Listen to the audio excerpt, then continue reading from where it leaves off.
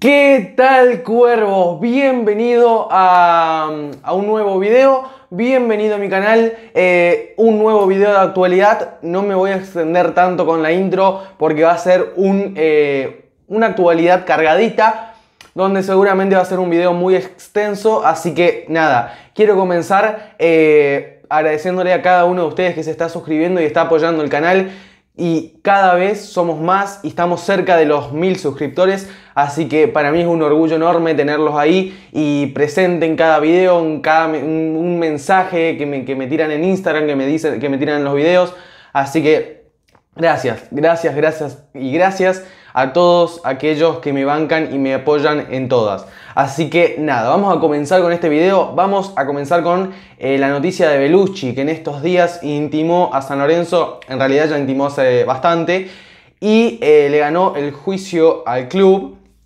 por una eh, deudas acumuladas. la justicia falló a favor de Belucci y se llevó 26, 26 millones de pesos, era lo de la deuda, más 5 millones de, de intereses por el juicio ganado y por la demora y todo eso. Eh, en total son 200 mil dólares. 200 mil dólares que San Lorenzo le va a tener que pagar a un jugador cuyo vínculo, cuyo eh, ciclo ya estaba acabado en 2017. Recordemos, después de 2016, que fue el pico máximo de Belucci, ya listo, ahí se tendría que haber ido, ponerle un año más, 2018 en 2018 Belucci ya no tenía que haber jugado en San Lorenzo. Un jugador que en 2016 te dio mucha jerarquía, te dio eh, bastante ayuda ahí en el, medio, pero después eh, era, era un jugador que no aparecía, que era un, displicente y por ahí tenía dos jugadas que te cambiaban el partido, pero no mucho más. Eh, así que mal ahí San Lorenzo. recordemos que Belucci no era parte del acuerdo Mm, que, San Lorenzo tenía con eh, agremiados. Que en ese paquete, eh, que se cerró por menos de 200 millones de pesos, eh, se incluía a Jonathan Herrera, Castellani, Bota, Vareiro, Ariel Rojas, Poblete, Molina y Tapia, que yo no entiendo por qué tenemos deudas con pibes que ni siquiera jugaron un partido en San Lorenzo, que yo recuerde, no jugaron. Gonzalo Rodríguez y Ángel Eri. Y de este acuerdo tampoco formó parte Piatti y Ezequiel Ávila. Vamos al segundo tema. Monetti eh, en duda, eh, toda la incógnita, y todos los rumores que están surgiendo en base a Monetti en cuanto a su continuidad. Eh, su representante Oller habló, que ya vamos a estar hablando de Oller, que tiró bastantes frases polémicas como siempre. dijo ayer que hubo bastantes intereses de otros equipos, pero nada formal. El arquero tiene contrato con San Lorenzo hasta diciembre de 2021 eh, con una cláusula que dice que en junio eh, el contrato se podría cortar si por ahí la dirigencia no quiere contar más con sus servicios o si llega una oferta de la MLS o de Europa. Ofertas que estamos esperando hace bastante tiempo y no llegan porque nadie lo quiere, vamos a decir las cosas como son. Si pueden, dirigentes, despiértense, por favor, córtenle el vínculo a este muchacho en junio. Seguramente no va a salir gratis, pero va a hacernos peor eh, que este muchacho siga a que se ponga no sé cuánta plata para que salga este, este atorrante que no le hace bien a San Lorenzo. Eh, vamos al tema Oler. Dijo que el Monetti tuvo un problema con los Romero y que desde ese día no hay, eh, no hay relación. Eh, recordemos que también Monetti tuvo una pica con Ubita Fernández en un partido contra Defensa y Justicia cuando Ubita jugaba para el Halcón, donde Monetti le dice falopero. Eso, eso nadie se acuerda. Le dice falopero, se encuentran ahí, lo separan y un rato después eh, Monetti le pega a un alcanzapelotas. Eso, eso no se acuerdan. Eh, pero bueno, para refrescar la memoria, se los tiro acá. Eh, no sé si Monetti pinta ser tan bueno, porque, hay, porque es fachero, porque tiene músculo. Ay, qué bonito Monetti, nadie habla de él en los medios, pero es igual de atorrante que su representante. Siguiendo con el tema Oler, dijo, hasta, imagínense que hasta, se atrevió a meterse con la vuelta a Boedo. No, no le alcanzaba con meterse con los Romero y, decir cosas que no tiene que decir un representante, porque ¿quién es él?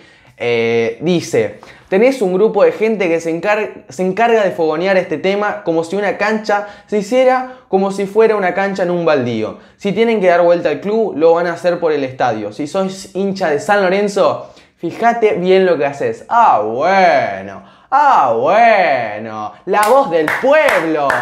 Pero ¿quién te conoce, Oler? Y después dice, yo sí me preocupo por las finanzas de mi club, mi club. Nadie te conoce, nadie te respeta y nadie te quiere. Nadie te respeta, Oler. ¿Quién sos para el mundo San Lorenzo? ¿Quién sos para el mundo San Lorenzo? Pero por favor, payaso, alejate de San Lorenzo. Y de paso, si te, si te importan las finanzas de tu club, de tu club, eh, sacalo a Monetti que tiene un contrato de la reputa madre y sacalo por favor a Elías que no nos aporta nada. Eh, si, te, si, te, interesan las finanzas del club, por favor, retírate vos y tus representados. Vamos al tercer tema, eh, la cuestión de eh, la sede del partido de vuelta de la Copa Libertadores fase 3 contra Santos. que se va a jugar el 13 de abril a las 9 y media de la noche. Estaba confirmado que se iba a jugar en Brasilia. Bueno, hoy a la mañana se confirmó en Brasilia que se suspendieron las actividades eh, recreativas, así que no se va a poder jugar ahí. Se está viendo si se puede jugar en Arena Pantanal de Cuyabá, Razacada de Florianópolis, eh, Serra Antonio Axidi de Goianía eh, y como cuarta opción Luque Paraguay. Pero claramente Santos no quiere salir de Brasil, así que se va a ver en esas tres zonas si eh, se puede jugar el partido en alguna sede de, Brasil.